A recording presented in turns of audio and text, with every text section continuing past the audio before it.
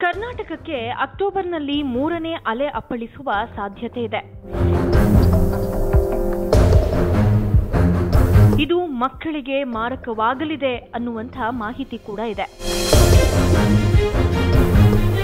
ಇದು ಈಗ ಸಾಕಷ್ಟು ಆತಂಕಕ್ಕೆ ಕಾರಣವಾಗಿದೆ. ಆದರೆ ಈ ಬಗ್ಗೆ ಆತಂಕ ಬೇಡ. ಮಕ್ಕಳ ಲಸಿಕೆ ಕೂಡ ಸಿದ್ಧವಾಗಿದೆ. ಹೌದು. ಎಲ್ಲ ವಯಸ್ಸಿನ ಜನರು ಕೊರೋನಾ ವೈರಸ್ ಸೋಂಕಿಗೆ ಒಳಗಾಗ್ತಾ ಇದ್ದಾರೆ. ಸಾಂಕ್ರಾಮಿಕ ರೋಗವನ್ನ ನಿರ್ಮೂಲನೆ ಮಾಡಲು ಪ್ರಸ್ತುತ ವಿನ್ಯಾಸಗೊಳಿಸಲಾದ ಲಸಿಕೆಗಳು ವಯಸ್ಕರಿಗೆ ಮಾತ್ರ. ಇಲ್ಲಿವರೆಗೂ ಮಕ್ಕಳಿಗೆ ಯಾವುದೇ ಲಸಿಕೆ ಲಭ್ಯವಿಲ್ಲ. ಈ ಮಾರಕ ರೋಗವನ್ನ ತಪ್ಪಿಸಲು ಶೀಘ್ರದಲ್ಲೇ ಮಕ್ಕಳಿಗೆ ಲಸಿಕೆಯನ್ನ ಪರಿಚಯಿಸಲಾಗುವುದು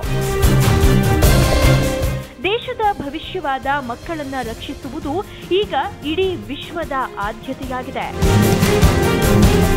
ಕೊರೋನಾ ಮೊದಲ ಅಲೆ ಮತ್ತು ಎರಡನೇ ಅಲೆಯಲ್ಲಿ ಮಕ್ಕಳನ್ನ ಬಾಧಿಸಿದ್ದು ಕಡಿಮೆ. ಆದರೆ ಮೂರನೇ ಅಲೆ ಮಕ್ಕಳನ್ನೇ ಟಾರ್ಗೆಟ್ ಮಾಡುತ್ತೆ. ಮೂರನೇ ಅಲೆಯಿಂದ ಮಕ್ಕಳಿಗೆ ಗಂಭೀರ ಪ್ರಮಾಣದ ಆರೋಗ್ಯ ಸಮಸ್ಯೆಗಳಾಗುತ್ತೆ ಅನ್ನುವಂಥ ವರದಿ ಈಗ ಇಡೀ ವಿಶ್ವವನ್ನೇ ಬೆಚ್ಚಿ ಬೀಳಿಸಿದೆ ಇಡೀ ಪ್ರಪಂಚದ ಮೇಲೆ ಪರಿಣಾಮ ಬೀರಿರುವ ಕರೋನಾ ವೈರಸ್ನಿಂದ ಮಕ್ಕಳನ್ನ ರಕ್ಷಿಸಲು ಶೀಘ್ರದಲ್ಲೇ ಲಸಿಕೆ ಬರಲಿದೆ.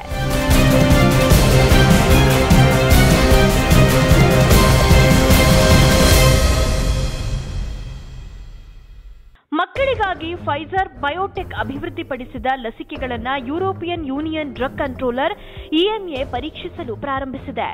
ಯುಎಸ್ನಲ್ಲಿ ಕೂಡ ಇದೇ ರೀತಿಯ ಪರೀಕ್ಷೆ ಪ್ರಾರಂಭವಾಗಿದೆ. ಫೈಜರ್ ಮತ್ತು ಅದರ ಪಾರ್ಟ್ನರ್ ಜರ್ಮನ್ ಕಂಪನಿ ಬಯೋಟೆಕ್ ಈ ವರ್ಷದ ಮಾರ್ಚ್ ಅಂತ್ಯದಲ್ಲಿ ತನ್ನ ಕೋವಿಡ್ ನೈನ್ಟೀನ್ ಲಸಿಕೆ ಮಕ್ಕಳಿಗೆ ಸಂಪೂರ್ಣವಾಗಿ ಸುರಕ್ಷಿತವಾಗಿದೆ ಮತ್ತು ವಯಸ್ಕರಂತೆ ಕರೋನಾ ವೈರಸ್ ಸಾಂಕ್ರಾಮಿಕದ ಪರಿಣಾಮಗಳನ್ನು ತಡೆಗಟ್ಟುತ್ತದೆ ಎಂದು ಹೇಳಿಕೊಂಡಿತ್ತು.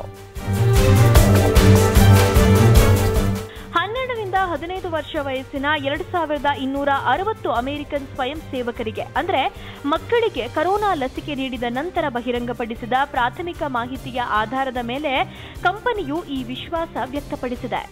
ಮಕ್ಕಳನ್ನು ಶಾಲೆಗಳಿಗೆ ಹಿಂದಿರುಗಿಸುವ ದಿಕ್ಕಿನಲ್ಲಿ ಫೈಜರ್ನ ಈ ಲಸಿಕೆ ಬಹಳ ಮುಖ್ಯವಾಗಿದೆ ಅಂತ ಪರಿಗಣಿಸಲಾಗಿದೆ.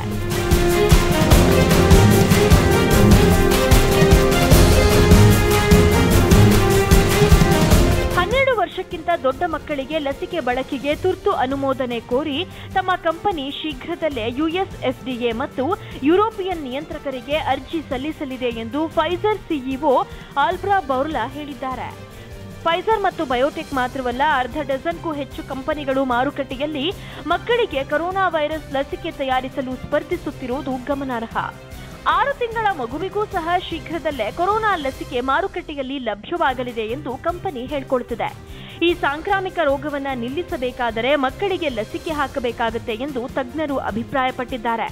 ಅಮೆರಿಕಾದ ಕಂಪನಿ ಮೊಡೆರ್ನಾ ಹನ್ನೆರಡರಿಂದ ಹದಿನೇಳು ವರ್ಷದೊಳಗಿನ ಮಕ್ಕಳ ಮೇಲೆ ಕರೋನಾ ಲಸಿಕೆಯ ಪರಿಣಾಮವನ್ನು ಅಧ್ಯಯನ ಮಾಡ್ತಿದೆ.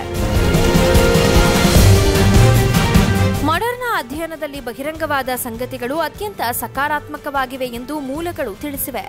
ಇದರ ಪರಿಣಾಮವಾಗಿ ನವಜಾತ ಶಿಶುವಿನಿಂದ ಹಿಡಿದು ಆರು ವರ್ಷ ವಯಸ್ಸಿನವರೆಗೆ ಕೋವಿಡ್ ನೈನ್ಟೀನ್ರ ಪರಿಣಾಮಗಳನ್ನು ಸಂಶೋಧಿಸಲು ಯುಎಸ್ ಎಫ್ಡಿಎ ಈಗಾಗಲೇ ಫೈಜರ್ ಮತ್ತು ಮಾಡರ್ನಾಗೆ ಅವಕಾಶ ನೀಡಿದೆ.